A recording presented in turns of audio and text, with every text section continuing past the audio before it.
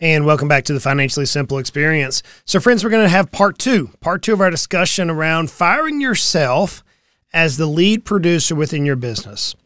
In our last episode, we spent a lot of time talking about why it's important that you, as the owner, you as the CEO, you as the president, you as the chief shareholder, you as the founder of your company, whoever you are in your title, that you seeking an eight figure exit cannot be or should not be the lead producer, the top producer, the best salesperson within your organization.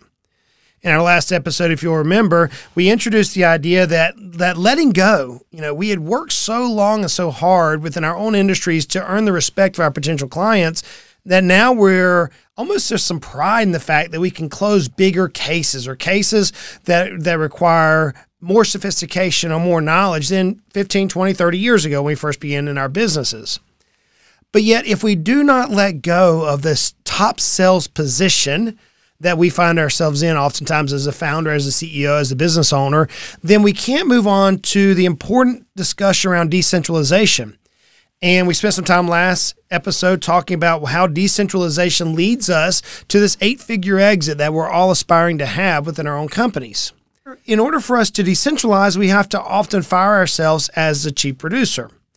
In our last episode, we talked about how we should be exceeding industry standards. And I spent a significant amount of time looking at the standards or the measurements that the financial advisory business might have in play. Now, like I've been mentioning for several of the last episodes, as we're dealing specifically with financial advisory practices, you may not be a financial advisor. You, you may be a, a blue collar business owner. You may own an HVAC company or a diesel mechanic, like I spoke with yesterday. You may own some other type of a business that's not necessarily that of a financial advisory practice. So I'm building these episodes to where the content is directly applicable to any business owner. So you have your own industry standards, whatever they may be for your particular NAIC code or your particular SIC code. Whatever your business is, there are some standards that you should be able to ascertain and you could put those within your target or within your your your crosshairs to aim your business toward as you grow and move forward to your potential exit. We concluded last episode with some key questions, some key data points that you just have to know as the business owner. If you remember, we asked the question How many clients do you have today as a company? What's your average revenue per client? What's your average client retention rate? How many leads are you receiving per month? What is the source of these leads? What's your close rate? How many hours are, are you dedicating to prospecting each month? And what is your cost of acquisition? Those were some key foundational questions that I left you with as homework for last time. And hopefully you went back, you looked in your business, you were able to ascertain what these particular current data points are. So now let's go to part two. How do you prepare your department, your sales department, to close more leads and spur organic growth without losing the momentum and the efficiency that you've worked perhaps decades to build?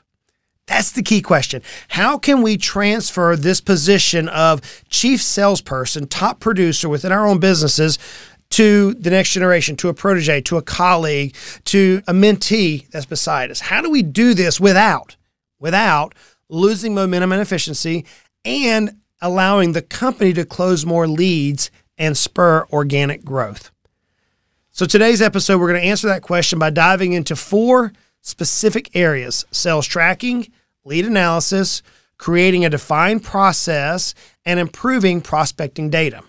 So, let's dive into it. The first area we're going to focus on is sales tracking. Sales tracking. Before we go any further, we got to understand what is sales tracking.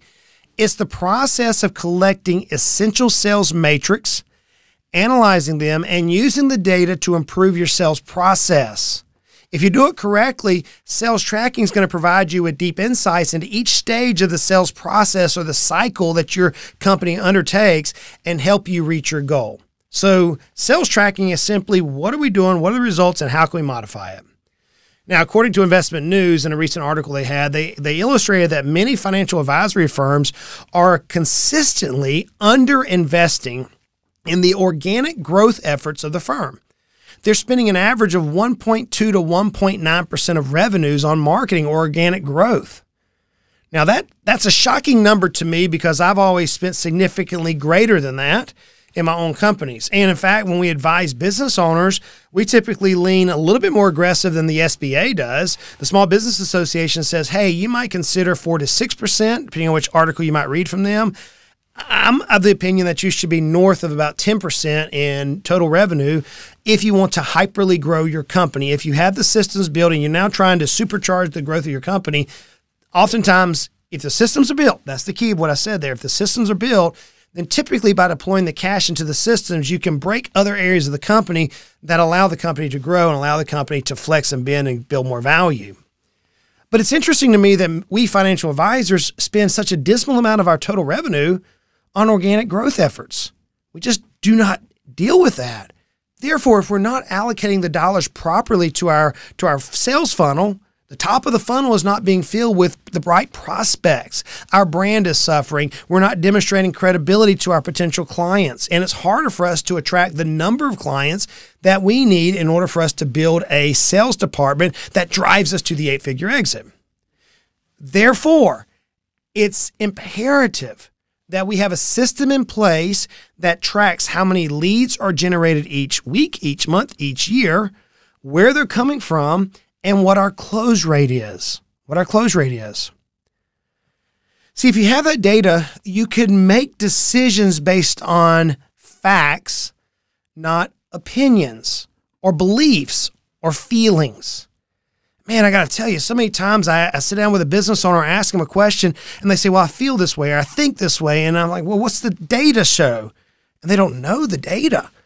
And no wonder we feel like we're wasting dollars in marketing because we never built the systems and therefore we don't deploy the dollars. And it's almost like this reverse vortex that allows our businesses to almost live on this life support model. No wonder we have a hard time reaching an eight figure exit. Uh, there's a report that was done by Spotio, which is a sales automation firm, that shows that 80% of sales require five follow ups. Think about this you meet a prospective client, you meet them one time, they're interested in what you do, you give, you give them your elevator pitch. Maybe they talk to you or email you a week later and you email them. And then more than likely, we quit. In fact, 44% of, of people selling a product or a service give up just after one contact. But yet, 80% of people require up to five contacts before they engage the business. So, if you don't have a sales process and you're trying to operate by the seat of your pants, or you're operating from the yellow pad or from your memory, or even relying upon just the flow from your centers of influences, you're not going to receive the flow of new prospects to shift yourself out of the lead producer seat. So, you need a system. Not only does the sales system allow you to make decisions based on real data, but it also allows you to identify symptoms of the process before they become critical problems. I was literally talking with a client yesterday. He sent me an urgent request. It's a long term client of mine, somebody who I deeply care for. He said, just an urgent meeting request, an ASAP. Well, I had a pretty full day, and I said, man, I got 30 minutes here between these two events. So we hopped on the phone he had sent me a, a long email explaining this the urgency and what he wanted to pick my brain on. And when I got down through all, I'm literally almost five pages of data, which was very helpful for me and my analytical mind. And we got down through all the facts. It came down to he didn't have a system in place for this particular problem. It was a sales problem. He didn't have a system in place. And because he didn't have a system, he wasn't able to identify the symptoms of the sales process. And it created a monumental problem for this individual. It, the bookkeeper didn't see it. The operations team didn't see it. Ended up having to refund a mid six figure overcharge because the sales process was flawed. And so, had he identified the sales process and had it in writing and built the process, he could have seen the symptoms and solved this problem before it became a critical problem for his business. So, friends, I'm telling you, the sales process is vital. Not only does it allow you to see the symptoms, but it allows you to see the strengths and weaknesses of your team. You see, you yourself know your product you know your service. You can you can just get into a meeting and you can just off the cusp talk about the history of the firm, where you're going. The passion just extrudes from your voice, as it does with all of us who are passionate about what we do. But a salesperson who you've hired in and maybe doesn't have the tenure, the history, the understanding of the bigger business, they may not have as much passion. They may not have the, the same capabilities. So a sales process allows you to see the strengths and weaknesses of your team and allows you to help them be successful. Because remember, if they're successful, you're successful. It allows you to test new ideas and methods. I'm reminded of, of, many of these crowdfunding type platforms where you come up with an idea, you put it out on a, on a crowdfunding type platform. If a lot of people think it's going to be a good a good type of an investment, an idea, a product, a widget, then they may deploy some cash to that particular idea. It's the same concept when it comes to building a sales process for your financial advisory firm. If you're thinking about introducing a new concept, a new portfolio, a new strategy, a new a new law changes and you want to implement with your business, your sales process allows you to quickly test your new ideas with your core group of clients, your core group of prospects, or whomever the idea is applicable to. So, friends, the sales process is paramount. Finally, the sales process allows you to customize your sales approach to meet your client's needs. It's been said that many times we lose revenue because we're not focusing the product to our current clients. It's often easier to enhance or drive value to your current clients, which rewards you with compensation, more so than it is to go out and attract a new client. See, a sales process allows you to look through so many different areas. So, the first thing we're going to talk about is the need for the sales process. We've got that. But what are we going to track in the process? You know, there's many ways you can track or you can look work through a sales process. Many people look at a performance-based tracking. In other words, it shows you if your team is making strides attracting new clients. You look at a number of varied types of metrics, such as the number of cold calls they're making, the number of scheduled meetings, emails that are inbound, emails being sent outbound, uh, messages coming through your website. So you can do a performance based tracking. Another tracking you could do is sales lead tracking. That's where you're going to track various metrics that allows you to rank your most valuable leads on your list and see how many of your most valuable leads close. Sales lead tracking. Another one you can do is sales goal tracking. Now, I'm a goal oriented type person. So for me, a goal makes sense. In fact, this is the same concept that I used in my own practice. A sales goal is is putting a number out there. Maybe it's a maybe it's a number of clients that you want to acquire within a particular time frame. Maybe it's a dollar figure that you want to acquire. But it's a sales goal tracking mechanism. To me, this makes the most sense for my style of business. But you may not have the same personality, or the things that drive me may not drive you but it's a way that you can track. In fact, I was I was digging into the uh, the goal track. I came across an interesting quote by Amy Parvaneh, the founder and CEO of Select Advisors Institute, and she said a very powerful statement. I want you to hear the statement. She says, "Sales involve quality and quantity. You must be a quality person and communicate well." But you also have to take your chances playing a numbers game where the prospects is allowed to say no. But the odds are radically in favor of a good advisor in a world short of them. If they, the advisor, see a quota as the key to achieving sales and growth. See, if you're going to use a sales goal tracking, a good advisor will see this quota, this goal, as an ability for them to reach their success. So you can put a goal, a sales goal out there, and it can also couple with the, the sales team compensation package. Another method, method that you could track is called sales funnel tracking. Sales funnel tracking. There are many businesses that we actually track this more so than a goal.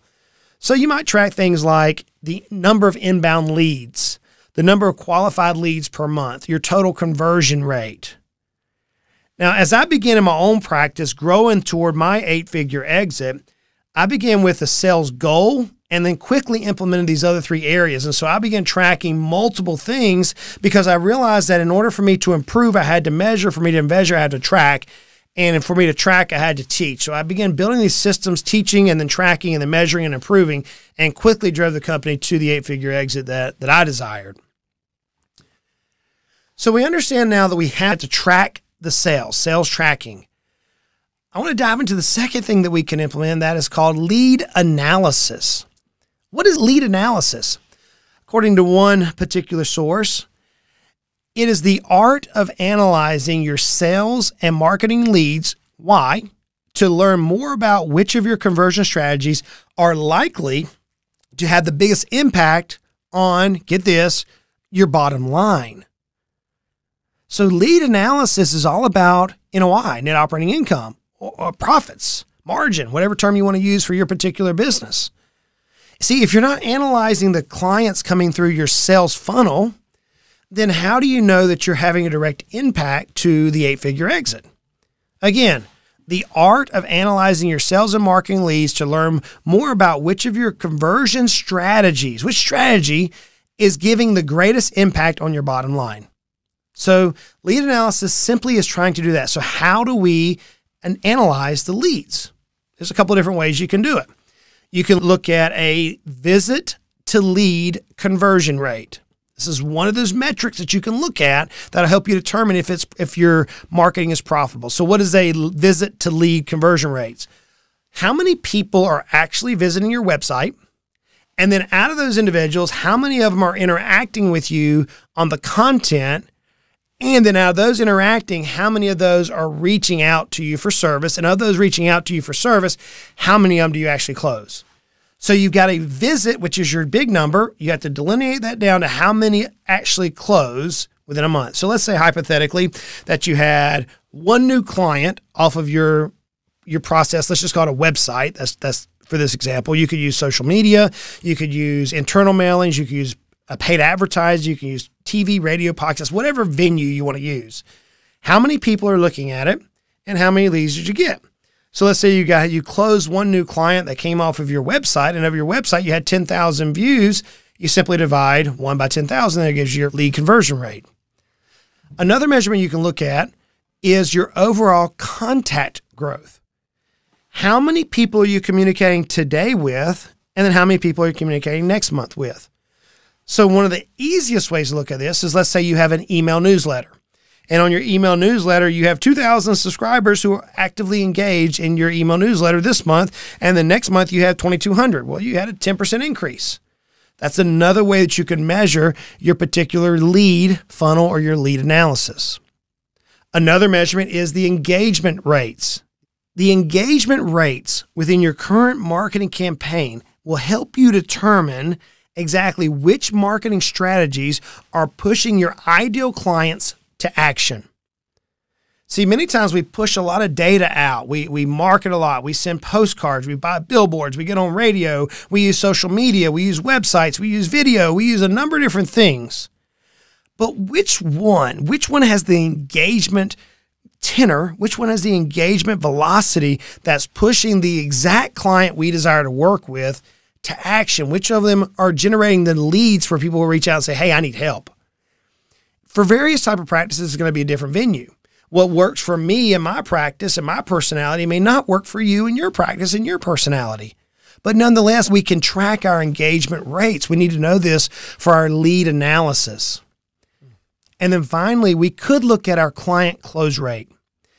How often are your leads converting to genuine customers? I would take it a step further.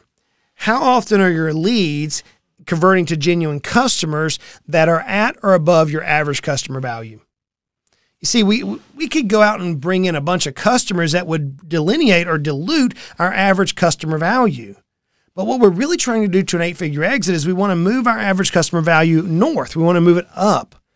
So if you're looking at your client closure rate, how many customers per month are you converting from the leads? What's the ratio into the ideal customer that's driving your customer value up? Now, why is all this important? Because lead analysis, lead analytics enables you, the business owner, to focus on the prospects which are most likely to pay attention to your marketing. Likewise, it allows you to then train your sales team, your replacement team on how to communicate with those ideal prospects how to communicate with the personas of your ideal prospects, and ultimately helps you identify the efficiencies for your sales and marketing team. Friends, lead analysis is paramount. I'm often shocked with business owners don't have a data points on how many leads they get, how many leads convert, what type of leads are converting, are they the right leads, et cetera, which is why I gave you the homework out of last episode. So if we're trying to build a best-in-class sales department and we're trying to decentralize ourselves from that sales department, one of the first things we do is have to set track our sales process. We have to know the process and we have to know where each client or prospect is within that process. Number one. Number two, we have to understand the leads that are coming into our door. We have to analyze those and make sure that they're the right, the right type of lead to help us meet our long-term goals. And then number three, we have to create a uniform process, document and refine. Look, I, I, talk about processes often because processes allow for scale. Processes allow for increased margin. Processes allow for decentralization. Processes are there to help remove human error. Processes are paramount.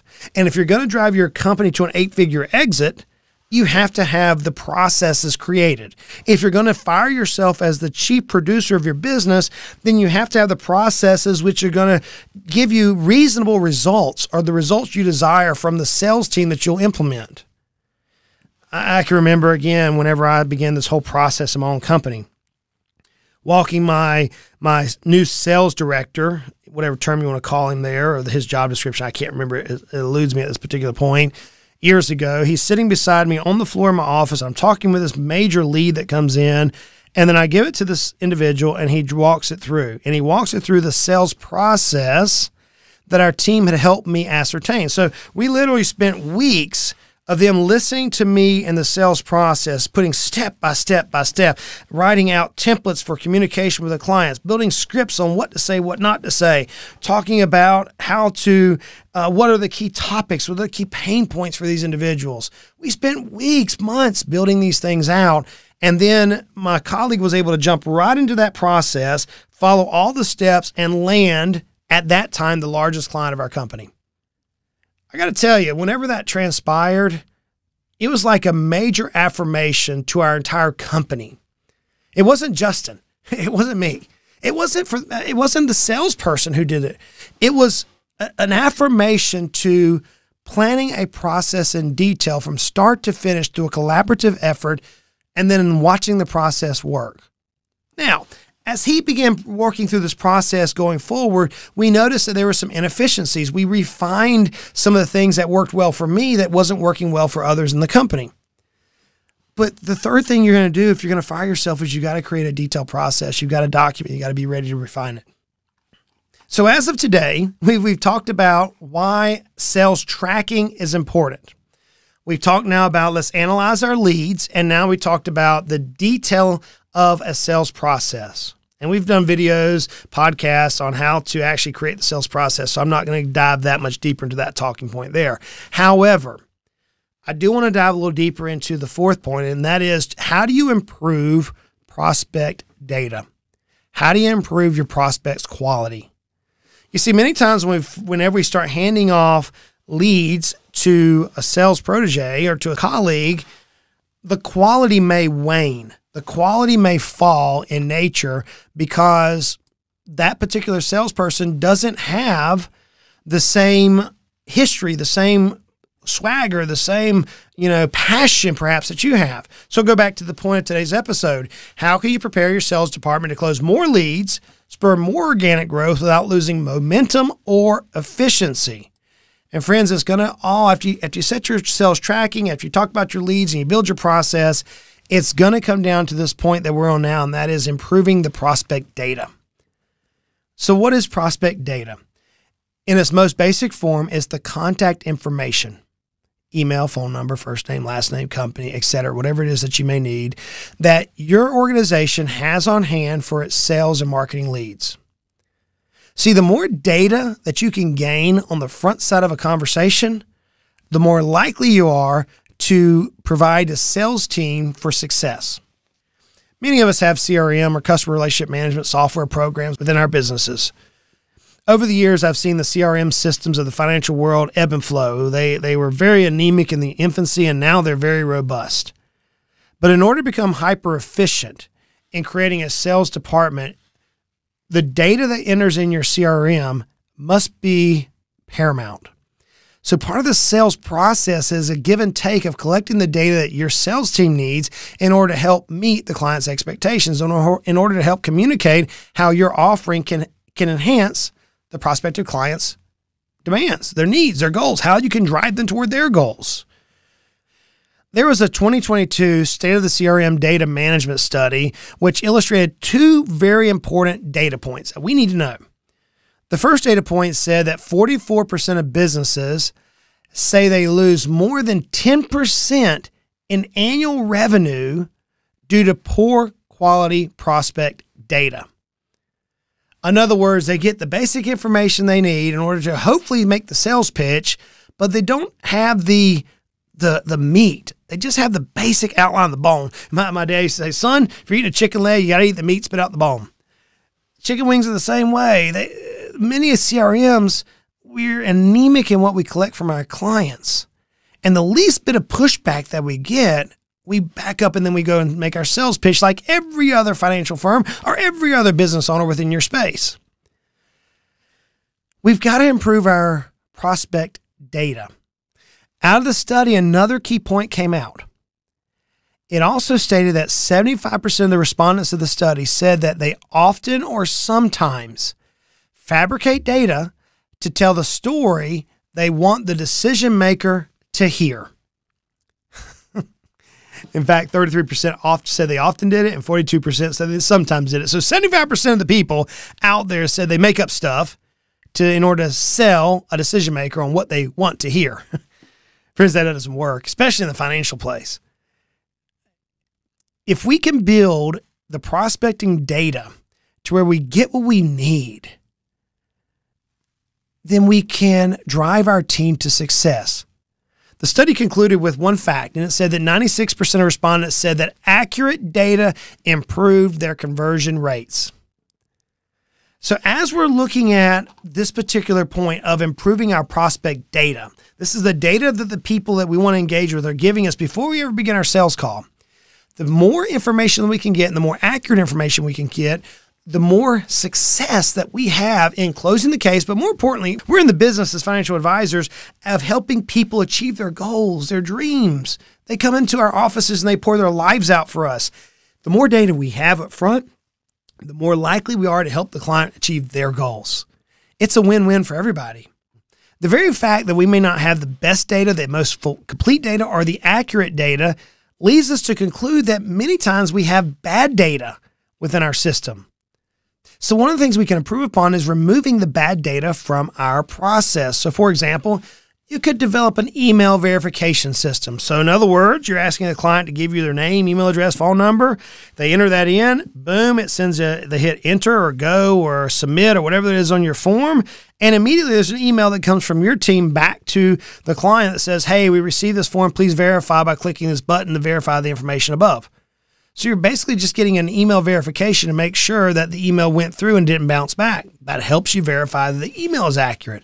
See, verifying the data is not hard. We have systems that can do it, but many of us don't think this way. Another thing we can do is we can purge the bad data. You know, oftentimes we get bounced emails. This number should be relatively low, less than 2% within our whole CRM system. Many times we're, we're, working with business owners, working with financial advisors of which who have hired us to help them engage and drive the value of their companies forward. And I start looking at the bounce rates and they're in the 15, 20, 30% range, which means the data within the CRM system, the data in which the sales team is using is not good. It's dirty. And if the email is incorrect, then many times the various other things inside the data is incorrect, like their favorite food, their favorite sports team, what caused them to reach out to you to begin with.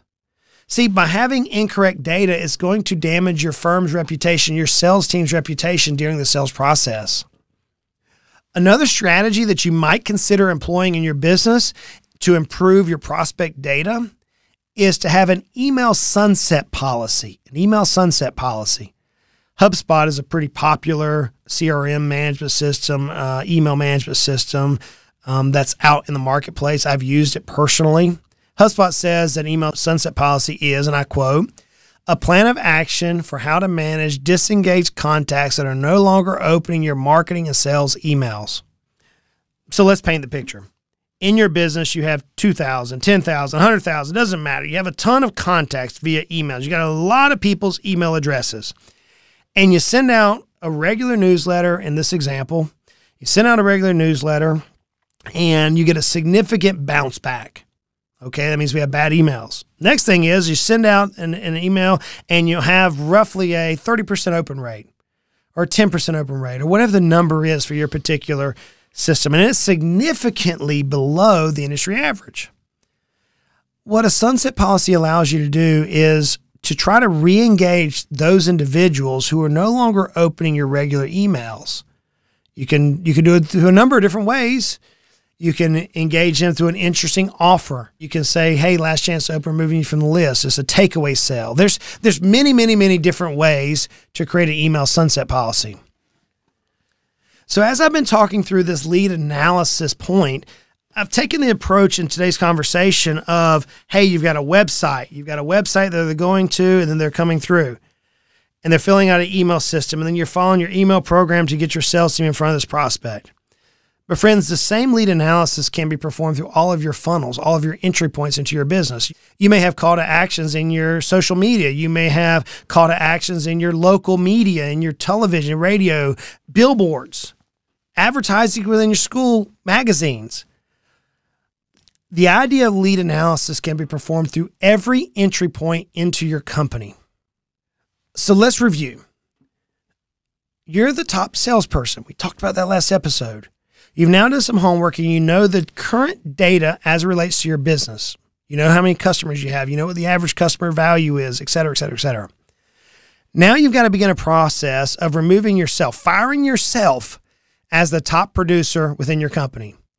In order to do that, you have to identify four things. You have to track your sales. You have to have sales tracking throughout the entire process. Where are the customers? Where are they falling off? Where are you making strides, winning, etc you have to analyze the leads. The leads coming through, are they the right leads to help you increase your customer value? Are they the right leads that you will help you drive you to the eight figure exit? You have to clearly define the process. So as you clearly define the process, you are able enabled to look at the sales tracking. You're able to and analyze the leads. And then you also got to improve your prospect data. The more data that you can get from your prospects through a give and take relationship, the more success your sales team will have in converting prospects and replacing you. The goal is to replace you as a top salesperson. Friends, this is a lot of information, and this is a hard one because many of us, especially those of us in the financial advisory space, we have scratched and clawed and scrimped and saved to earn the respect of our communities, of our prospects, of our clients, to reach a certain point to where now I'm saying, hey, you're now starting to get the biggest customers of your life coming and ask for help, and you're going to turn those over to a protege or to a colleague. That's hard. But if you're going to achieve the eight figure exit, you have to have a sales process. In addition to achieve the eight figure exit, we have to fire ourselves as a top salesperson.